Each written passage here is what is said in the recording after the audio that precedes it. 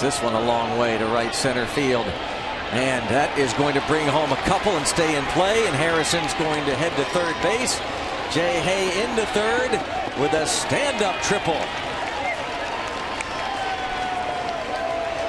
Two-run shot to right center. Both clubs bringing the big bats here in this ball game.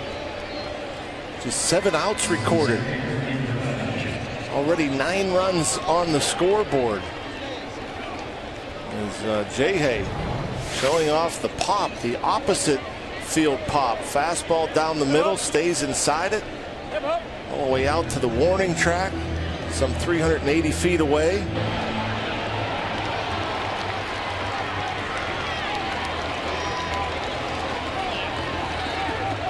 A stand-up triple.